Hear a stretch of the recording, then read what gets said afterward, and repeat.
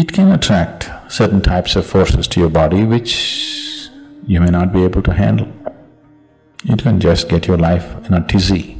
You can literally do everything that you want and not just with yours, with everybody else's bodies here. Metal has a certain receptivity about it.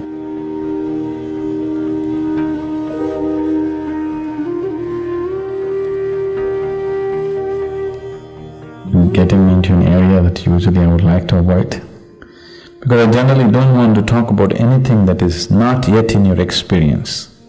Because if I speak about something which is not in your experience, what is the choice you have? The only choice you have is either to believe me or to disbelieve me. If you believe me, it doesn't get you any closer to truth. If you disbelieve me, it doesn't get you any closer to truth. Yes? You're still in the same spot, but you have a fancy story going. This is the mistake that's always been done. People are constantly talking about things that are not in your experience. But now the question is, is there such a thing? I'm wearing a ring on my thumb, why are they asking me to take, take it off? So this human body is a mechanism. You may be too attached and identified with it, so you're not seeing it that way, but it's actually a mechanism, isn't it? Yes? If you… you've been for some surgery or something, any of you?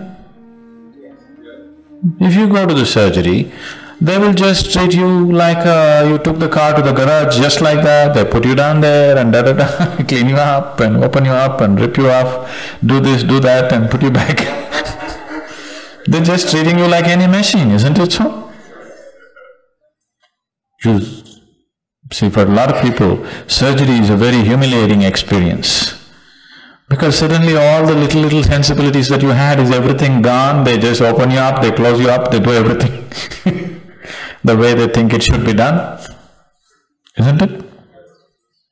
So because this is just a mechanism, this mechanism has come with many possibilities.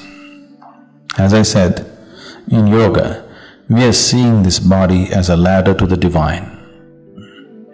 If you know how to keep this, this is a phenomenal mechanism. Right now, we're using it in a very minimal way, very, very minimal way. This is an airplane, but you have chosen to drive it, you know. When you choose to drive your airplane, you start driving and there's two damn things. It hits your buildings, your lampposts and everything. So you don't like these two things. So you chop off the two wings and you drive it. An airplane with chopped off wings is a wonderful bus actually. Yes? You're just happy? You're quite okay, what's wrong? I'm driving a great bus. But someone who knows what it means to fly sees an air, aircraft with chopped off wings, he will cry. Yes? That's how I feel when I look at the yoga that's happening and the way people are living, because this can be in some other way you have not imagined. See, if I go into the details, it'll be too fairy tale-ish, too fairy tale-ish for any sensible person to believe. I wouldn't believe a damn thing like that if anybody told me. But these are everyday realities for me, so many things. Mm, right here, that you're here, there are so many dimensions of life right here, now, but it's not in your experience. I'm talking about physical realities. I'm not talking about something else. As we are all sitting here and doing a program right now, there are many levels of physical realities right here various types of things happening. This is a whole world, multi-layered world, one inside the other. You know, this is a multi-layered existence, one inside the other. Today modern physics is beginning to recognize that, do you know? They're talking about multiple realities existing, one inside the other. It is so.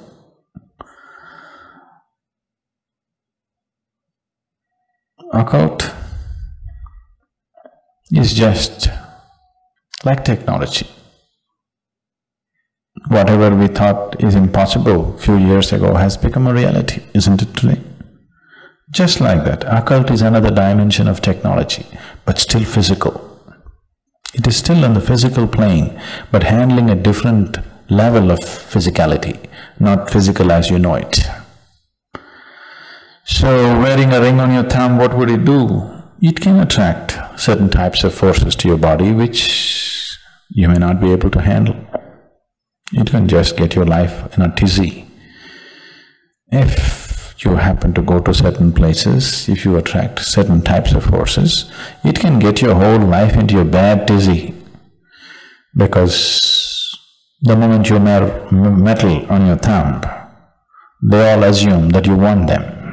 So, if you if you attach an antenna from your brain up, every damn radio station that's going on in California, you have to bear with it. Now, if you don't want to hear all this, you have to pull off the antenna, isn't it? This is just like that. Metal has a certain receptivity about it, a certain impact about it. So, it is used in certain ways.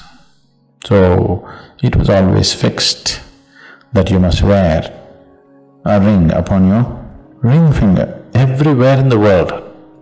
This was fixed as ring, ring finger. You think it's by accident? It is not by accident. This ring finger from here to here,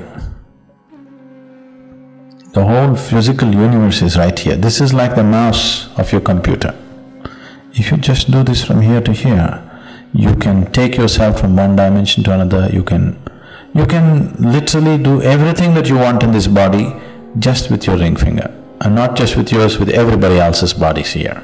You can do what you want just with, through your ring finger. There's a whole science in yoga about the ring finger. The ring finger is considered as the key to everything that you are. So fixing a ring on the ring finger became important because that's a simple way of ensuring the stability of the system. If you put any metal on the ring finger, the system remains very stable. You put it somewhere else, somewhere else, somewhere else, today anywhere you can poke, people are putting metal, it will do its own things. It has its own impact. It's not a deciding factor like that. One can wear all these things and still be reasonably okay. But it is like you can make your car totally flat like a wall and drive it. You can still drive it. It just consumes uh, two times more gas than if it is properly shaped, isn't it? The same thing. You can go like this and walk through everything, but it is just you'll simply exhaust yourself through the process of life. Rather than going through it joyfully, effortlessly, you will just exhaust yourself by doing wrong things, that's all. Everybody gets to live, but not with the same ease, isn't it? Isn't it so? Simply because unless you do the right things, right things do not happen to you in this world. Inside, outside, many dimensions, it doesn't matter what. Unless you do the right things, right things will not happen to you. That's the way it is.